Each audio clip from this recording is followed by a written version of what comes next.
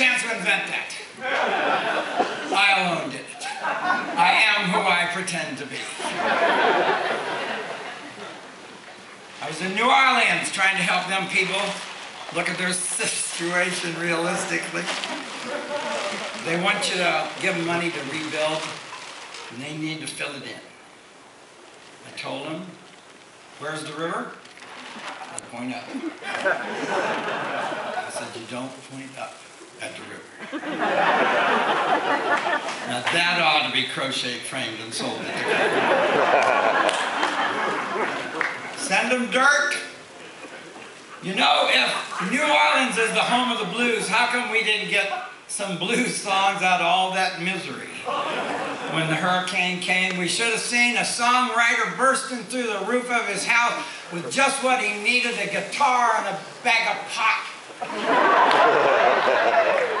and waving away the rescue copter. I can't light this with all this wind.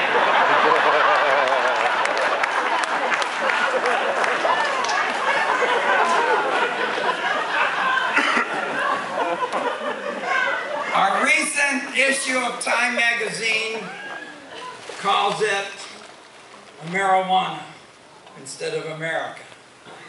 It's an issue today. Big surprise, this country was founded on it. The people that came across in them little boats were looking for a place to plant dope. Well, they were going to call it freedom of religion, but then dope was in the religion and they were stoned. Far away from all these rules over here. The first pioneers went to look for a place to smoke dope.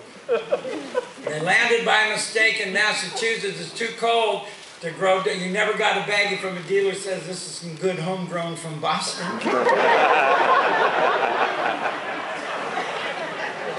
But you can't just head west across Pennsylvania and Mass. It's thick with trees and you can hardly get, to this day, you can't tell where the cities are unless you know they're there and take the exit that you just missed. I've done it, I've been across it. You can't see nothing till Pittsburgh. And then the beautiful Ohio Valley opens up.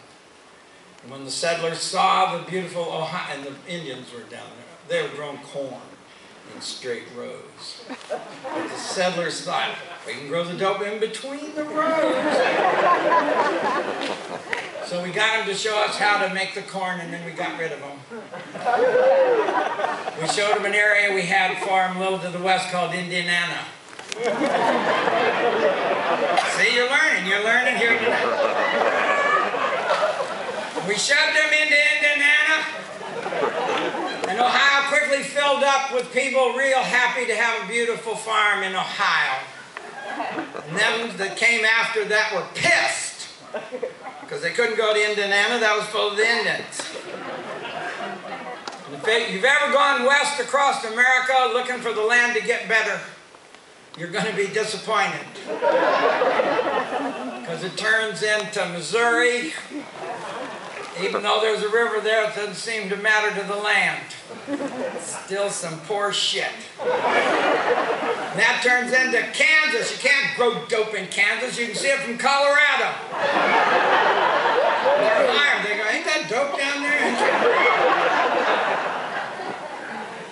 But you don't want to end up in the Great Plains of the United States in a wagon and unable to repair it. And it can break down a lot of ways. There's wood in the spokes, and that need to be a woodworker. There's a metal rim around that to protect the wood that broke anyway. I don't know how they welded back in colonial time. There's bearings. It's a big deal. If your wagon wheel breaks, you're out on that prairie, that's where you settle, that's where you're from. You don't think people headed out for Topeka, do you? That's why if you ever get a chance to go across America, you'll see every big ranch has a broken wheel out by the mailbox. it is too! Damn it, I know what I'm talking about. I have set myself in my place in history. I know my past. I know the deep past and what has won in the past. The Romans conquered the world, not because they were confused spoon fork type Americans, trying to be a fork and a spoon at the same time. The Romans were Romans. They didn't wear socks and sandals. Socks are fuzzy and friendly. You want an army of fuzzy friendly guys in their socks? When a guy approaches you wearing socks, do you think that's a bitch about to hit me? You think he's looking for his shoes. But he happens to run across his sandals and is too damn lazy to take off his socks. Sandals are leather against skin. It's sexy, it's powerful. And when them pretty Italian boys that come marching, wearing, oh, they had long thong sandals that went all the way up her leg. I saw it on HBO. They'd all, it didn't even matter they had a faggy skirt, because it did.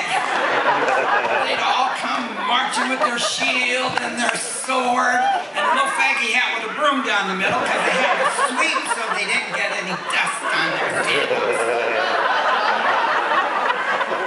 when the other army saw this, they got down, they said, you win, who's your designer?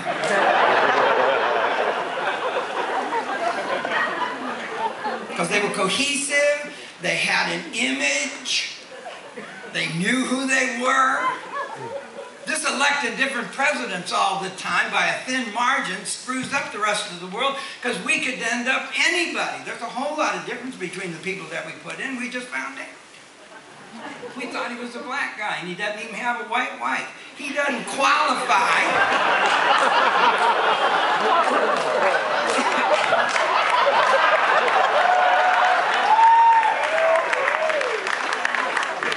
How did he get through Chicago politics without getting dirty? Right, that's the big lie.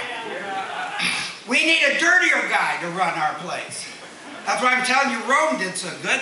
They had a Caesar that didn't listen to nobody and killed them that had anything to say. He's a leader, made him champion. Also because he was an old guy and he's a wily guy. He was suspicious of everybody, including them Arabs. They was down in Egypt back then. So he sent a spy to Egypt, see what that is up to. Spy come back said, don't even worry about them, they're just stacking rocks. they're rock stackers. Caesar said, well, what if they're done with that stack of rocks? Then what? Spy said, they build another one, they got 8, 10, 12 of them down there now. Caesar said, still I must respect their energy. And the spy said, yeah, but they're stupid. Look, here's their blueprint. And the plan was for a big square building. But they got unions. So each shift...